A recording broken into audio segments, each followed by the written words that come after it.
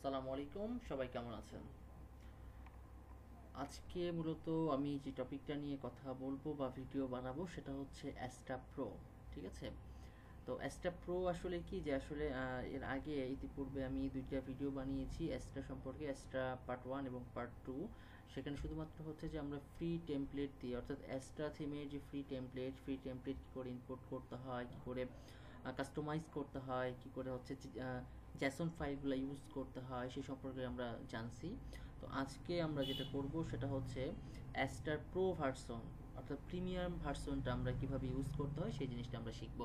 তো সেই ক্ষেত্রে আমাদেরকে যে জিনিসগুলো করতে হবে, যেহেতু প্রিমিয়াম যেই বিষয়গুলো চলে আসে, অবশ্যই আমাকে প্রিমিয়াম কিছু থিম প্রিমিয়াম কিছু প্লাগ আমাকে বিভিন্ন ধরনের লাইসেন্স ইউজ করতে হবে। তো সেই জিনিসগুলো অবশ্যই আপনার ভিডিও ডিসক্রিপশনে পেয়ে যাবেন। আমি সেগুলো হয়তো বা বিভিন্ন গুগল ড্রাইভের মাধ্যমে আমি জিনিসগুলো শেয়ার করে দেবো, ঠিক আছে? ওকে তো ফার্স্ট অফ অল আসলে আমরা দেখি যে আমরা মূলত আসলে কোন কোন প্রিমিয়াম ফাইল বা ফোল্ডারগুলো নিয়ে কাজ করব ওকে আচ্ছা আমি মূলত এই যে অ্যাস্টা প্রো ফাইল আছে এখানে এর মধ্যে মূলত অ্যাস্টা এটা হচ্ছে আসলে প্রো আসলে অর্থাৎ প্রিমিয়াম যে থিমটা সেই থিমটা এটা ঠিক আছে? ওকে তারপরে হচ্ছে যে অ্যাস্টা প্রো সাইট এটা কেন কাজ করব, এটাতে কি করব, সেটা আমরা স্টেপ বাই স্টেপ দেবো মূলত এই চারটা ফাইল নিয়ে মূলত আজকে আমরা কাজ করব। এগুলো হচ্ছে প্রিমিয়াম ফাইল এবং এই ফাইলগুলো অবশ্যই আমি আমার ভিডিওর ডেসক্রিপশনে এই ফাইলগুলো ডাউনলোড যেন আপনারা করতে পারেন খুব সহজে। সেই জন্য আমি লিঙ্কটা দিয়ে দেবো, ঠিক আছে? ওকে তো আমরা চলে যাই ওয়ার্ডপ্রেস ড্যাশবোর্ডে আসলে ওয়ার্ডপ্রেস আমি হচ্ছে এখন যেই ইয়াতে ইউজ করছি সেটা হচ্ছে লোকাল সার্ভার ইউজ করছি এবং আমি লোকাল সার্ভার সফটওয়্যার হিসেবে জ্যাম্প ইউজ করছি। ঠিক আছে? ওকে তো যেহেতু আসলে জ্যাম কীভাবে ইনস্টল করতে হয়, কীভাবে সেট আপ করতে হয়, এটা আপনারা জানেন। ইতিপূর্বে আপনারা জেনে গেছেন। তো সেহেতু আসলে ওই দিকে আর সময় নষ্ট না করে মূলত আমি আমাদের পরিচিত যেই লুক বা পরিচিত যে ইন্টারফেস সেই ইন্টারফেস থেকে আমি শুরু করছি। তো অ্যাট ফার্স্ট অফ অল এটা হচ্ছে আমার ড্যাশবোর্ড এবং আমি যদি আমার সাইটটাকে একটু ভিজিট করি, তাহলে দেখব যে আমার সাইটটা কেমন ওকে আচ্ছা বর্তমানে কিন্তু আমার সাইটটা এরকম হয়ে আছে, যেহেতু এখানে কোনো আপাতত কোনো হচ্ছে আসলে কোনো ডিজাইন টিজাইন কিছু করা নেই, কোনো টেমপ্লেট লোড করা নেই বা থিম লোড করা নেই। তো ডিফল্টভাবে যেটা থাকে টোয়েন্টি টোয়েন্টি সেটা আছে। তো যাই হোক অ্যাট ফার্স্ট অফ অল আমাকে যেটা করতে হবে সেটা হচ্ছে আমাকে কি আপলোড করতে হবে? একটা থিম আপলোড করতে হবে। ঠিক আছে, তো থিম আপলোড করতে হয় কীভাবে সেটা আমরা জানি অ্যাপিয়ারেন্স থেকে থিম ওকে অ্যাপিয়ারেন্স থেকে থিম আচ্ছা বেসিক্যালি এখানে হচ্ছে আমার একটা থিম অলরেডি যেটা ছিল সেটা হচ্ছে যে এটা এটা আমার এখানে ছিল ওকে এটাকে আমি ডিলিট করে দিই আপাতত হ্যাঁ? ওকে এটাকে আমি আপাতত ডিলিট করে দিই এবং অন্যান্য যে থিমগুলো সেই থিমগুলোও ডিলিট করে দিই ওকে আচ্ছা বেসিক্যালি এটা টোয়েন্টি টোয়েন্টি ওকে আমরা অ্যাড নিউতে যাব ওকে যেহেতু পূর্বের কিছু কাজ করা ছিল, সেই জন্য জাস্ট ওই থিমগুলো রয়েই গেছিল ওকে আমরা জাস্ট যখন আমরা ফ্রি ভার্সন যেটা দেখছিলাম সেটা হচ্ছে জাস্ট শুধুমাত্র আমরা অ্যাসটা লিখে দিলেই এখান থেকে আমরা এটাকে ইনস্টল করতে পারতাম, তাই তো? একটু ওয়েট করতে হবে। ওকে অ্যাসটা লিখলে আমার এখানে জাস্ট অ্যাসটা ভার্সনটা চলে আসতো এবং এখান থেকে হচ্ছে আমি ইনস্টল করে নিতাম। বাট আমরা এখন যেটা করব সেটা হচ্ছে অ্যাস্টার যে প্রিমিয়াম যে থিমটা সেই থিমটা আমরা এটাকে এখানে আপলোড করব, ঠিক আছে? সেক্ষেত্রে আপলোড থিমে ক্লিক করতে হয়। সেটা আপনারা অবশ্যই জানেন। আপলোড থিমে ক্লিক করার পরে আমরা দেবো choose file okay choose file দেওয়ার পরে যেহেতু এটা আমার হচ্ছে ডেস্কটপে আছে, ঠিক আছে? আমার ডেস্কটপে আছে। ওকে, আমি ডেস্কটপে চলে গেলাম এবং ডেস্কটপে যাওয়ার পরে আমাদের হচ্ছে ফাইলটা কার মধ্যে রাখছি।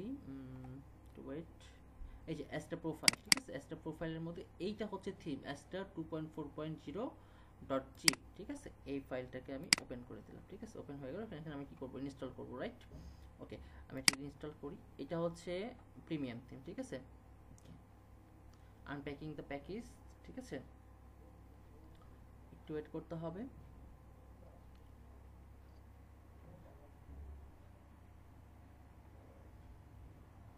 ইনস্টলিং দ্য থিম থিমটা ইনস্টল হচ্ছে।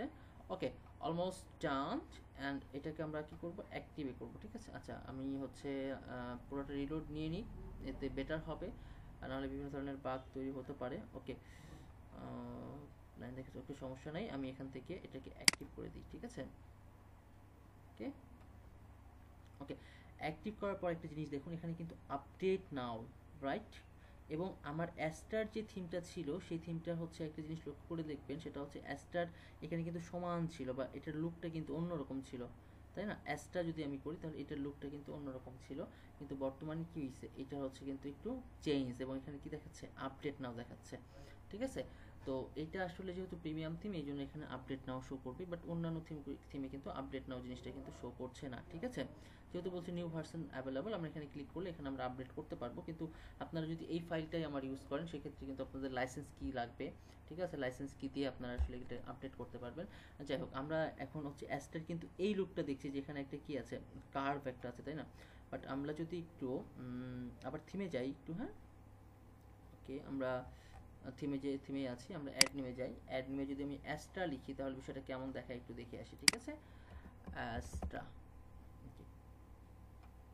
এই যে দেখুন, এইটা হচ্ছে ইনস্টল অলরেডি ইনস্টল মানে বিষয়টা হচ্ছে এরকম যে আমরা যখন অ্যাস্ট্রা লিখে সার্চ দিই, তার মানে ফ্রি যে থিমটা সেই থিমটা কিন্তু আমার এখানে শো করছে রাইট আচ্ছা বাট আমি যখন আমার থিমে আছি, আমি থিমে থেকে দেখাচ্ছি, দেখুন, এইটা কিন্তু আপডেট বিধায় কিন্তু এটা একটু মানে কি বলে, একটু আউটলুকটা একটু ভিন্ন রাইট ওকে আচ্ছা আমার আমরা জানি যে আমরা যে কোনো একটা থিম বা যে কোনো একটা প্লাগ ইন বা যে কোনো অ্যাডন্স আমরা যদি হচ্ছে আমাদের ওয়ার্ড ওয়ার্ডপ্রেসে সেট করি, সেক্ষেত্রে আমাদের এক্সট্রা কিছু ফিচার ড্যাশবোর্ডে কিন্তু যুক্ত হয়ে যায় লাইক দ্যাট এই যে অ্যাস্ট্রা অপশন চলে আসছে, ঠিক আছে?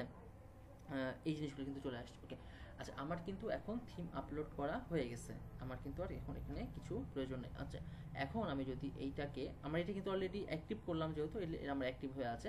আমি যদি এটাকে একটু ভিজিট করি, আমার এটা এখন প্রয়োজন নেই আপাতত।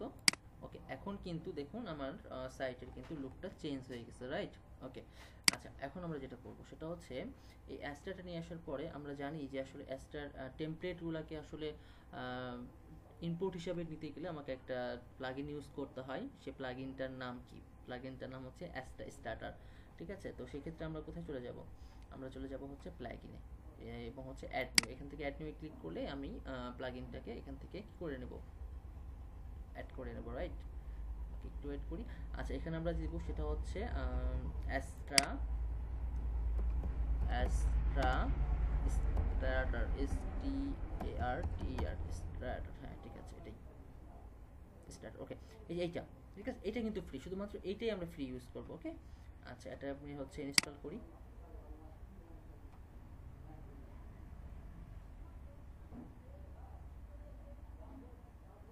একটু সময় নেবে, একটু ধৈর্য ধরতে হবে হ্যাঁ?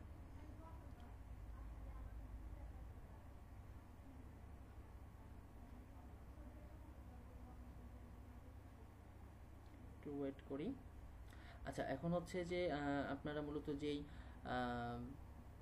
আমার প্রিমিয়াম থিমগুলো আপনি ইউজ করবেন, সেক্ষেত্রে অবশ্যই এই জিনিসটা মাথায় রাখতে হবে। সেটা হচ্ছে যে এই জিনিসগুলোকে যে আপডেট নাও, যে বিভিন্ন অপশনগুলো আসবে, এখানে কখনো ক্লিক করা যাবে না। ক্লিক করলে জাস্ট অর্থাৎ অ্যাস্টার যে ওয়েবসাইট এই অ্যাস্টার ওয়েবসাইট আপনাকে নিয়ে যাবে। নিয়ে যাওয়ার পরে আপনাকে বলবে হচ্ছে আসলে আপনি হচ্ছে কি বলে এটা পে করেন পে করে হচ্ছে আবার ইউজ করেন রাইট তো এই জিনিসটা আপডেট নেওয়া অন্তত ক্লিক করা যাবে না। ওকে আচ্ছা আমার হচ্ছে, আমার অ্যাস্টার যে অপশনটা সেটা অলরেডি তৈরি হয়ে গেছে। আমি এখান থেকে, আমরা যখন ফ্রি ইউজ করছিলাম, তখন আমরা এখান থেকে কি ইউজ করছিলাম? একটা পেজ বিল্ডার যে কোনো পেজ বিল্ডার হিসেবে, এবং আমি ইউজ করছিলাম এলিমেন্টর ঠিক আছে? তো আমরা এটাকে এখন আপাতত ইউজ করব না, আমরা পেজ বিল্ডার এখান থেকে ইউজ করব না। তো অ্যাস্টার টেমপ্লেটে আমি চলে যাব ডিরেক্ট অ্যাস্টার টেমপ্লেটে চলে যাব, বা তার আগে আমি যেটা করতে পারি, সেটা হচ্ছে প্লাগিনে যাব আবার প্লাগিনে যেয়ে অ্যাড নিয়ে চলে যাব, ঠিক আছে? আমি এলিমেন্টর এটা ইউজ করব না। এলিমেন্টর আমি কি করব? আপলোডে প্লাগইনে যাব দেন এলিমেন্টরটাকে আমরা ইউজ করব। আমরা ফার্স্ট ইউজ করব এলিমেন্টর জিপ ঠিক আছে? এলিমেন্টর জিপটাকে আমি আপলোড করে দিই। ওকে আচ্ছা এবার এটাকে ইনস্টল করি।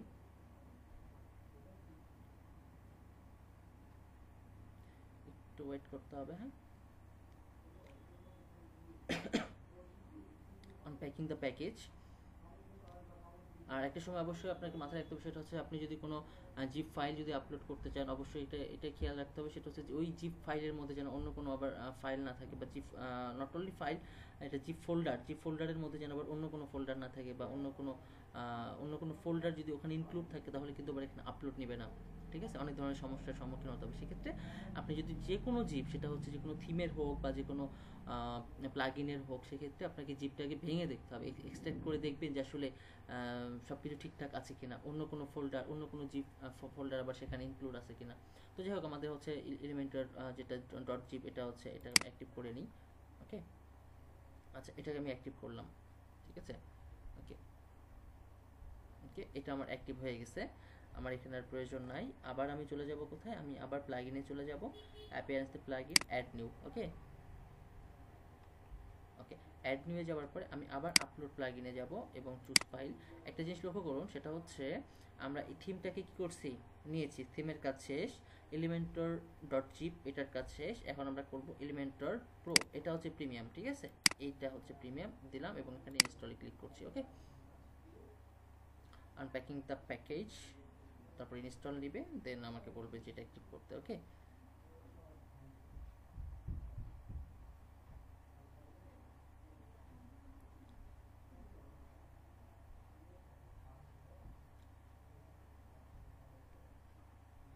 আপনারা চাইলে শুধুমাত্র এই অ্যাস্টা থিম দিয়ে আপনারা চাইলে অনেক কিছু করতে পারেন। ওকে অ্যাক্টিভ প্লাগইন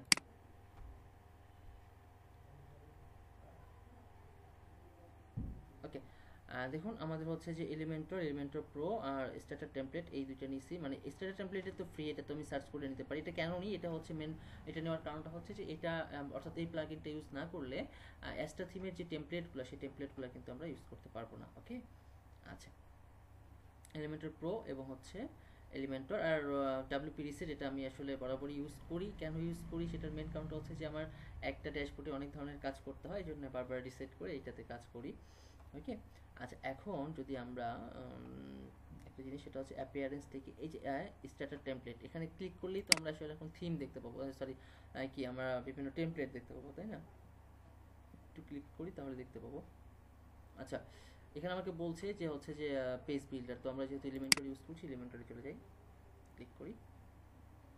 ওকে অর্থাৎ এলিমেন্টর পেজ বিল্ডার দিয়ে মূলত আসলে যেই টেমপ্লেটগুলো শো করবে সেগুলো হচ্ছে এগুলো। আচ্ছা আমরা যেগুলো দেখেছিলাম সেটা হচ্ছে যে আমরা এটা দেখেছিলাম, তাই না? এটা দেখেছিলাম, তারপরে হচ্ছে আর কোনটা দেখেছিলাম? আচ্ছা যাই হোক, আমরা এইটা মনে হয় দেখাইছিলাম। আমার যতদূর মনে আছে আর কি। এইটা, তারপরে এইটা, এরকম দেখাইছিলাম। তো যাই হোক, এগুলা কিন্তু ফ্রি হ্যাঁ? এগুলা হচ্ছে ফ্রি এগুলো আমরা ফ্রিতে ইউজ করতে পারি। যেমন এটাতে যদি আমি একটু ক্লিক করি তাহলে আমাকে বলবে যে এটা এখন আমরা ইম্পোর্ট কমপ্লিট সাইট ঠিক আছে? এই সাইটটাকে আমি ডাইরেক্ট সব ইম্পোর্ট করতে পারি, ঠিক আছে? বা আমি যদি সিঙ্গেল সিঙ্গেল করতে চাই, তাহলে এটাকে আমরা সিঙ্গেল করে এভাবে হচ্ছে ইম্পোর্ট করতে পারি। এই জিনিসগুলো আপনারা জানেন। ইতিপূর্বে এগুলো দেখানো হয়েছে। ওকে বাট আমরা যদি এখন এজেন্সিতে যাই লাইক দ্যাট আমি যদি এটাকে ইউজ করি এজেন্সি হ্যাঁ?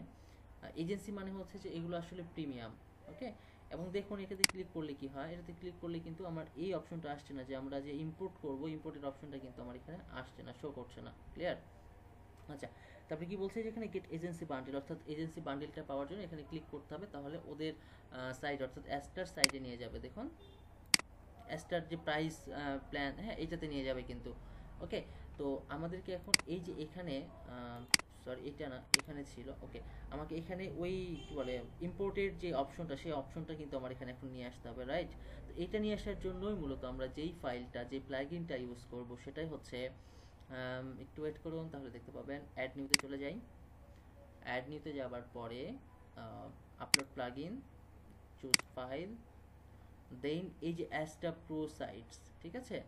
এইখানে ক্লিক করে এটাকে আমার আপ করে দিতে হবে। ওকে এটাকে ইনস্টল করব এখন।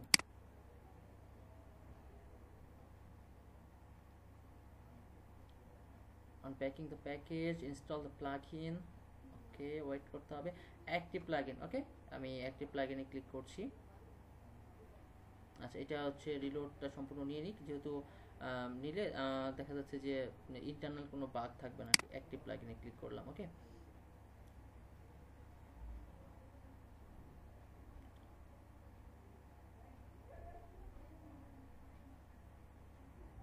ওকে আমার এটা কিন্তু অ্যাস্ট্রা প্রিমিয়াম যে সাইট সেটা কিন্তু অ্যাক্টিভ হয়ে গেছে। এবং দেখুন এখানে আমার দেখা যাচ্ছে সি লাইব্রেরি ডিঅ্যাক্টিভ এবং অ্যাক্টিভ লাইসেন্স এই লাইসেন্সটা কিন্তু আমার তখন অ্যাক্টিভ হয়ে যাচ্ছে ক্লিয়ার এবং এটা অ্যাক্টিভ হয়ে যাওয়ার পরে আমরা মূলত এখানে করছিলাম না, আমার এখানে সাইটটা ছিল। যাই হোক, আমি এখান থেকে স্টার্টার টেমপ্লেটে চলে গেলাম। এই যে এখানে আমার ফাইলটা ওপেন হলো মানে নতুন ট্যাব ওপেন হলো।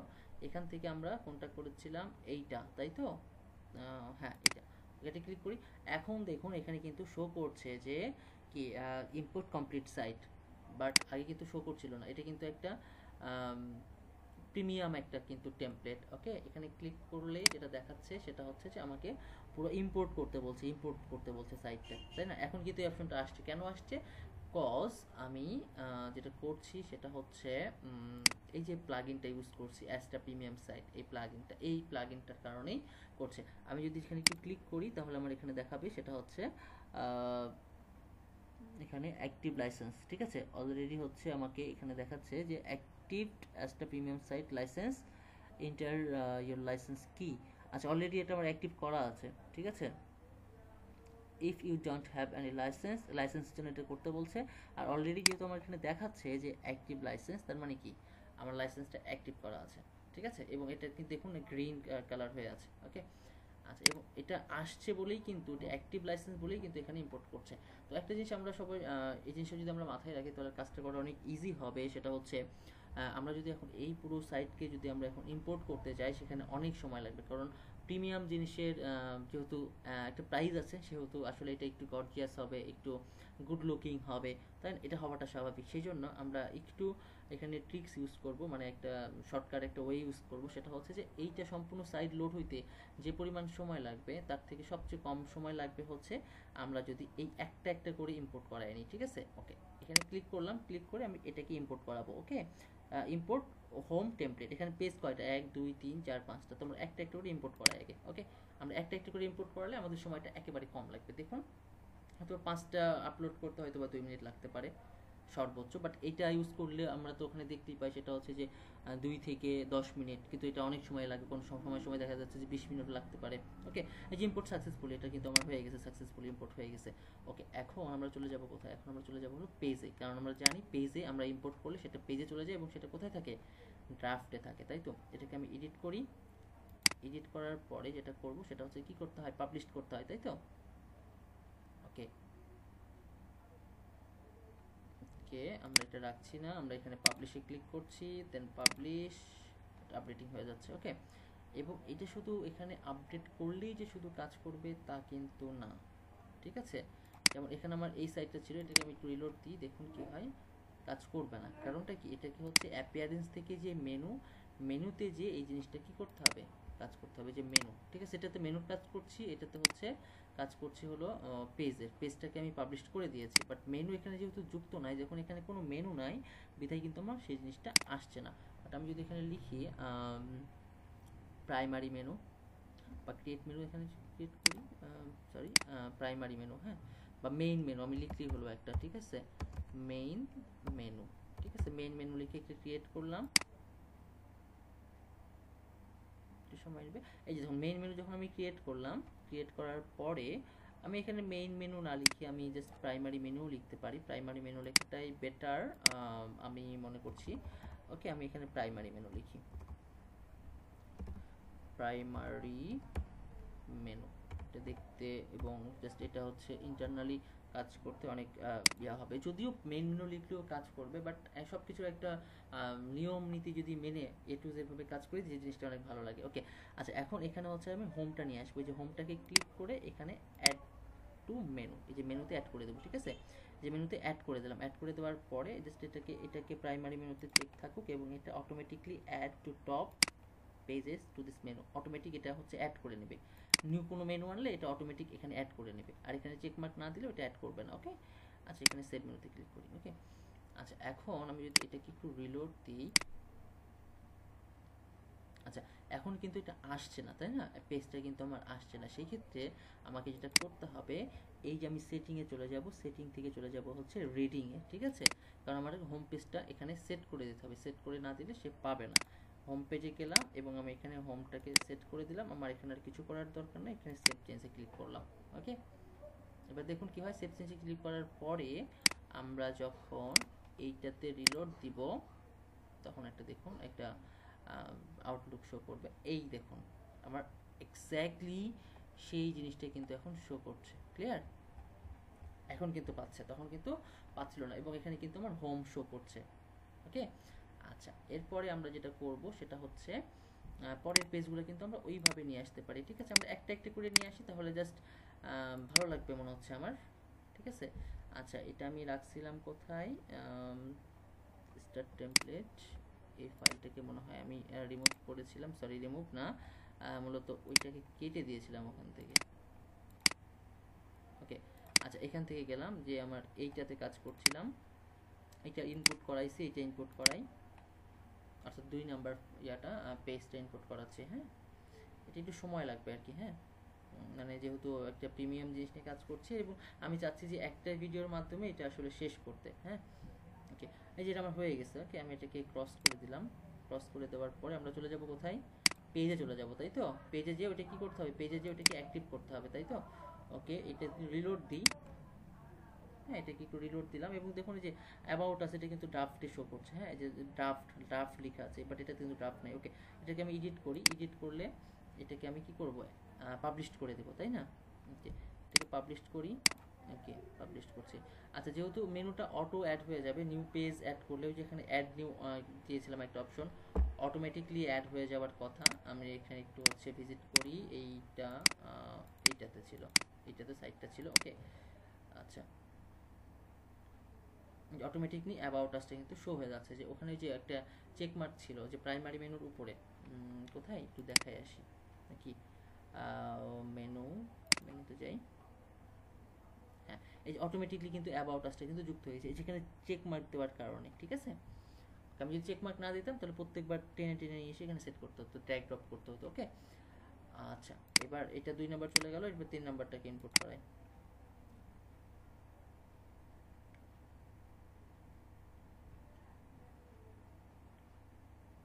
এবং এটা কিন্তু হচ্ছে প্রিমিয়াম একটা টেমপ্লেট হ্যাঁ? আচ্ছা ইম্পোর্টেড সাকসেসফুলি ওকে ক্রস করে দিই। কোথায় চলে যাব? এডিট পেজে চলে যাব, তাই না? ওকে যাওয়ার পরে এখানে একটু রিলোড দিই, কারণ রিলোড দিলে আমার ওই পেজটা এখন শো করবে। এবং দেখুন, এখানে ড্রাফটটা ড্রাফটে শো করছে একটা, এটাকে আমি হচ্ছে এডিট করি দেন এটাকে পাবলিশ করে দেবো হ্যাঁ? ওকে এটাকে পাবলিশ পাবলিশ ওকে এটার কাজও হয়ে গেছে। ওকে এটার কাজ হয়ে গেছে, আমি এটাকে যদি একটু রিলোড দিই, দেখুন। এই যে ওয়ার্ক স্পেস তাই না? এটা চলে আসছে। আচ্ছা এরপরে স্টার টেমপ্লেট এটা এখানে ছিল এটা ওয়ার্ক স্পেস চলে গেছে। এবারে প্রাইসিং প্রাইসিংটাকে আমরা হচ্ছে আহ, কি করাবো? ইম্পোর্ট করাবো ওকে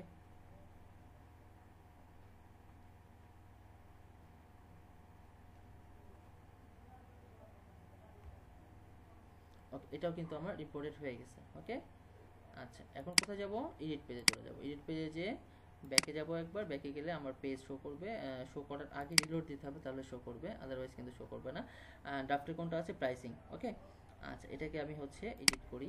আমি একটা একটি করে নিচ্ছি এই কারণে যে আমার তো বেশি পেজ না অলমোস্ট হয়তো বা দশটা হতে পারে। আমি যদি একটা একটা করে করি, তাহলে দেখা যাচ্ছে যে ইন্টারনাল কোনো প্রবলেম তৈরি হবে না বা কোনো প্রবলেম তৈরি হওয়ার আগে আপনি অন্তত বুঝতে পারবেন। Clear okay published okay updating এটা আপডেট হয়ে গেলে অটোমেটিকলি কিন্তু আমার এখানে শো করবে। কারণ মেনুটা কিন্তু অটোমেটিক চলে আসবে হ্যাঁ? ওকে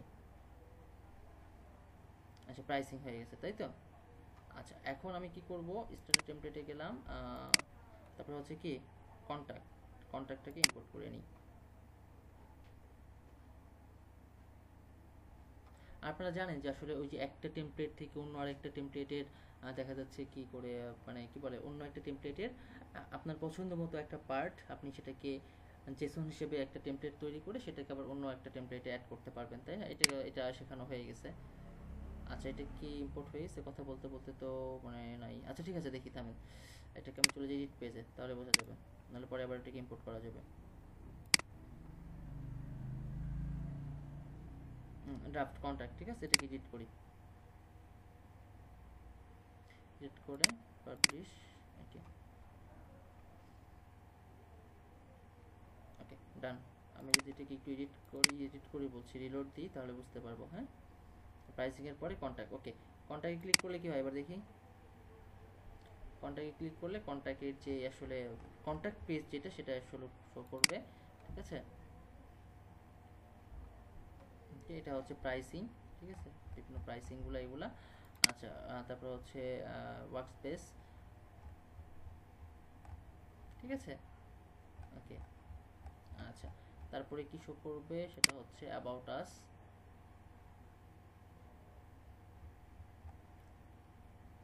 ওকে আচ্ছা তারপরে হচ্ছে হোম তো বিষয়টা হচ্ছে এরকম যে আপনারা চাইলে এখান থেকে আসলে এই ছবিগুলোকে কি বলে চেঞ্জ করতে পারেন, তাই না? এগুলার কালার চেঞ্জ করতে পারেন। এটা আসলে একেবারে ইজি একটা বিষয়। আচ্ছা তো আমার এখানে একটা জিনিস আমরা যে করি সেটা হচ্ছে এই যে হোম হোমে কিন্তু উপরে লোগো আছে, তাই না? উপরে লোগো নিচে মেনু তো এটা কীভাবে সেট করব? এটা আসলে একেবারেই সহজ একটা জিনিস। আমি চলে যাই এখানে। না, কোথায় ছিল? এখানে। ওকে কাস্টমাইজে ক্লিক করি, ঠিক আছে? কাস্টমাইজে ক্লিক করলে যেটা হবে, দেখেন। ওকে কাস্টমাইজে গেলাম। কাস্টমাইজে যাওয়ার পরে এই যে হেডার অপশন আছে হেডার অপশনে আমি ক্লিক করি। হেডার ক্লিক করার পরে প্রাইমারি হেডার এখানে ক্লিক করি। আসলে কোন পার্টে যাচ্ছে? আমি এইভাবে দেখতে যাচ্ছি।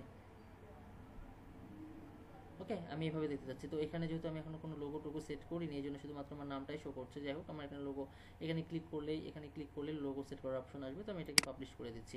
তো এতটুকু জিনিস আপনারা করতে পারবেন। আমি চাচ্ছি না যে আপনাদের সময় নষ্ট হোক। যদিও ভালো লাগছে ভিডিও বলেই কিন্তু আপনি এতদূর পর্যন্ত আসছেন। আর তারপরেও আপনারা এই জিনিসগুলো কিন্তু নিজে নিজেই কাস্টমাইজ করতে পারবেন। এতটুকু বিশ্বাস আমার আছে। কারণ আপনি, আমার যদি গত দুই, তিনটা ভিডিও দেখে আসেন, তাহলে এটা আপনার জন্য কিছুই না। শুধুমাত্র আমি কিছু টিক্স শেয়ার করলাম এই আর কি, যে কী করে প্রিমিয়ামটা ইউজ করতে হয়। ওকে ওকে ডান এখন হচ্ছে যেটা করব, সেটা হচ্ছে এটা এটাকে একটু রিলোড দিই, তাহলে বুঝতে পারব যে আসলে ঠিকঠাক কাজ করছে কিনা। হ্যাঁ ঠিকঠাক কাজ করছে। অলরাইট ওকে তো আজকের ভিডিওটা মূলত এই পর্যন্ত এবং এখানে শেষ করছি আমি। সবাই ভালো থাকবেন এবং হচ্ছে যে শুধুমাত্র এই ভিডিওটা দেখে দেখা যাচ্ছে যে আপনি কতটা শিখতে পারবেন আমি জানি না। তবে আপনার শেখার বা আপনার স্কিল কিছুটা হলেও আপনার ডেভেলপ করবে, এতটুকু আশা রাখি। ওকে ভালো থাকবেন সবাই।